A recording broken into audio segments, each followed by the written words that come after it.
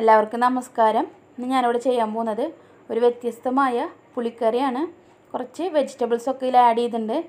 അപ്പോൾ ഇതിന് വേണ്ടിയിട്ടുള്ള സാധനങ്ങൾ എന്തൊക്കെയാണെന്ന് നോക്കാം. ഞാനിവിടെ കുറച്ച് കറിവേപ്പില എടുത്തിട്ടുണ്ട്. ഒരു പച്ചമുളക് രണ്ടായി അരിഞ്ഞത്. ഒരു പന്ത്രണ്ട് അല്ലി വെളുത്തുള്ളി. ഒരു വലിയ സവാള സ്ക്വയറായിട്ട് അരിഞ്ഞത്. പിന്നെ രണ്ട് തക്കാളി ഒരു മുരിങ്ങക്കായ അഞ്ച് വഴുതനങ്ങ ഈ സൈസിൽ അരിഞ്ഞെടുത്തതാണ്.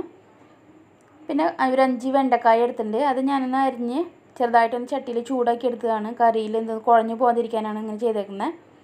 പിന്നെ വേണ്ടത് ഉപ്പ് ഉപ്പ് ആവശ്യത്തിന് മഞ്ഞൾപ്പൊടി മുളക് പൊടി മല്ലിപ്പൊടി. മല്ലിപ്പൊടി ഞാനിവിടെ കുറച്ച് ചേരുവകളൊക്കെ ചേർത്ത് വറുത്തരച്ച് വെച്ചിരിക്കുന്ന പൊടിയാണിത്. അപ്പോൾ നിങ്ങൾക്ക് ഇത് തന്നെ ഉപയോഗിക്കുന്ന നിർബന്ധമൊന്നുമില്ല. നിങ്ങൾക്ക് സാധാരണ മല്ലിപ്പൊടി അതിൽ ഉപയോഗിക്കാം. അപ്പോൾ ഞാൻ ഈ മല്ലിപ്പൊടിയുടെ വീഡിയോ വേറെ ഞാൻ ചെയ്യുന്നതാണ്. ഇത് കുറച്ച് കറികൾക്കൊക്കെ നമുക്ക് ഉപയോഗിക്കാൻ പറ്റും. പിന്നെ താളിക്കാനായിട്ട് ഉലുവ പെരിഞ്ചീരകം എന്നിവ എടുത്തിട്ടുണ്ട്. പിന്നെ ഒരു നെല്ലിക്ക സൈസിൽ പുളി എടുത്തിട്ടുണ്ട്. അപ്പോൾ ഇത്രയും വെച്ച് നമുക്ക് എങ്ങനെയാണ് ഈ പുളിക്കറി ചെയ്യാൻ നോക്കാം. ഞാൻ ആദ്യം ഈ വെണ്ടക്കായ ഒന്ന് ചട്ടിയിലിട്ടൊന്ന് ചെറുതായി ചൂടാക്കി വെച്ചിട്ടുണ്ട്. അപ്പോൾ ഇത് കറിയിൽ ഇങ്ങനെ ഇതാ ഉടഞ്ഞു പോകാതിരിക്കാനാണ്. ഞാൻ ഇതിൽ ഉപയോഗിക്കുന്ന നല്ലെണ്ണയാണ് ഉപയോഗിച്ചിരിക്കുന്നത്.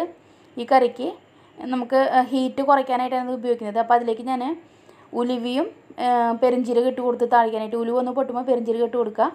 അതിന് ശേഷം ഇതിലേക്ക് എടുത്തു വെച്ചിരിക്കുന്ന വെളുത്തുള്ളിയും പച്ചമുളകും ഇട്ടൊന്ന് നന്നായിട്ട് ഇളക്കി കൂട്ടാം ഇതിലേക്ക് കറിവേപ്പില ഇട്ട് കൊടുക്കാം അതൊന്ന് ചെറുതായിട്ട് ഒന്ന് ഒരു ഗോൾഡൻ കളർ ആകുമ്പോൾ നമുക്ക് അരിഞ്ഞു വെച്ചിരിക്കുന്ന സവാളയും കൂടിയിട്ട് നല്ലോണം വഴറ്റിയെടുക്കാം. സവാള ഇട്ടൊന്ന് ചെറുതായി വഴറ്റി കഴിയുമ്പോൾ തന്നെ നമുക്ക് അരിഞ്ഞു വെച്ചിരിക്കുന്ന വഴുതനങ്ങ ഇതിലേക്ക് ഇട്ട് കൊടുക്കാം. അതും ഈ സവാളയുടെ കൂടെ ഒന്ന് വഴണ്ടി വരുമ്പോൾ നല്ല ടേസ്റ്റ് ആയിരിക്കും കറിക്ക്. ഇതെല്ലാം ഒന്ന് വഴണ്ട് വന്നതിന് ശേഷം നമുക്കിതിലേക്ക് തക്കാളി ഇട്ട് കൊടുക്കാം. അപ്പോൾ ഇത് നല്ലോണം വഴണ്ട് വന്നിട്ടുണ്ട്. അപ്പോൾ ഇതിലേക്ക് ഇനി തക്കാളി ആഡ് ചെയ്ത് കൊടുക്കാം.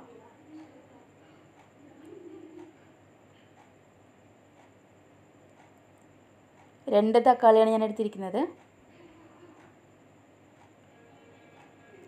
ഇതും എല്ലാം കൂടി ഒന്ന് നന്നായി വഴണ്ട് വരണം ഇനി. ഈ തക്കാളിയൊക്കെ നല്ലോണം ഉടഞ്ഞ് വഴണ്ട് വരണം. അപ്പോൾ നമുക്ക് അതിലേക്ക് മസാലകൾ ചേർക്കാം അപ്പോൾ ഇതെല്ലാം നല്ലോണം വഴണ്ട് വന്നിട്ടുണ്ട് ഞാനിതിലേക്ക് മസാലകൾ പൊടികളൊക്കെ ചേർക്കാൻ പോവാണ്.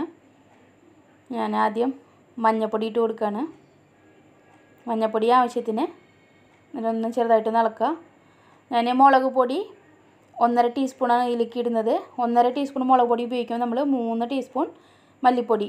അതിപ്പോൾ നമ്മൾ ഒന്നിനും ഒന്ന് ഒരു ടീസ്പൂൺ മുളക് പൊടിക്ക് രണ്ട് ടീസ്പൂൺ മല്ലിപ്പൊടി. അങ്ങനെ കണക്കിലാണ് ഞാൻ ഉപയോഗിക്കുന്നത്. അപ്പോൾ ഞാനിവിടെ ഒന്നര എടുത്തിട്ടുണ്ട്. അതിന് ഞാൻ മൂന്ന് മല്ലിപ്പൊടിയാണ് എടുക്കുന്നത്. ഞാനിവിടെ ആദ്യം മുളക് പൊടി ഇട്ടാണ് നല്ലോണം വഴറ്റുന്നത്. എന്ന് വെച്ചിങ്ങനെ മല്ലിപ്പൊടി ഓൾറെഡി ഞാൻ വറുത്ത് പൊടിച്ച് വെച്ചിരിക്കുന്നതാണ്. അപ്പോൾ അത് അധികം വഴറ്റേണ്ട ആവശ്യമില്ല. അപ്പോൾ മുളക് പൊടി ഇട്ടതിന് ശേഷം വഴറ്റിയതിന് ശേഷം മല്ലിപ്പൊടി ഞാൻ മൂന്ന് ടീസ്പൂൺ ഇട്ട് കൊടുക്കുകയാണ്. ഇത് നിങ്ങൾ സാധാരണ മല്ലിപ്പൊടിയാണ് ഉപയോഗിക്കണമെങ്കിൽ നിങ്ങൾ ആദ്യം വന്നിട്ട് മല്ലിപ്പൊടി ഇട്ട് നല്ലോണം വഴറ്റിയെടുക്കണം. ആ പച്ചമണം പോകാനായിട്ട്. എന്നിട്ട് മാത്രമേ മുളക് പൊടി ഇടാൻ പാടുള്ളൂ വ- നല്ലോണം ഇങ്ങനെ നല്ലോണം മൂപ്പിക്കേണ്ട ആവശ്യമില്ല ആ പൊടികളൊക്കെ. അപ്പോൾ നമുക്കൊരു ചിലപ്പോൾ ഒരു കരിഞ്ഞ ടേസ്റ്റ് കിട്ടും. ഞാനീ മല്ലിപ്പൊടി ഞാൻ അധികം വഴറ്റണില്ല. എന്നു വെച്ചാൽ ഞാൻ ഓൾറെഡി വറുത്ത് വെച്ച കാരണമാണ് അപ്പോൾ ഞാൻ അതിലേക്ക് ബാക്കിയുള്ള നമ്മുടെ മുരിങ്ങക്കായും വെണ്ടക്കായൊക്കെ ഇതിലേക്ക് ആഡ് ചെയ്ത് കൊടുക്കുകയാണ്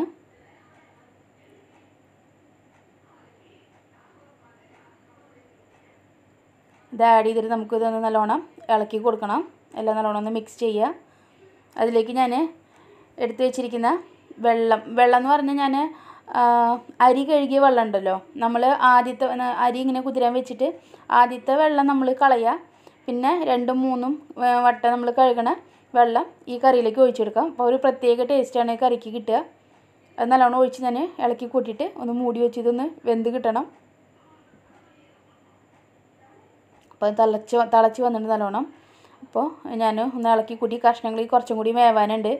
അപ്പോൾ ഒന്നും കൂടി ഇളക്കിയിട്ട് ഞാൻ ആവശ്യത്തിന് ഉപ്പിട്ട് കൊടുക്കുകയാണ് ഞാൻ മുമ്പ് കുറച്ച് ഉപ്പിട്ടുണ്ടായിരുന്നു പിന്നെ ബാക്കി ആവശ്യത്തിനുള്ള ഉപ്പ് ഞാൻ ഇട്ട് കൊടുക്കുകയാണ് അത് നമ്മൾ ടേസ്റ്റ് നോക്കിയിട്ട് ഉപ്പിട്ട് കൊടുക്കുക. ഇനി ഒന്നും കൂടി അടച്ച് വേവിക്കുക.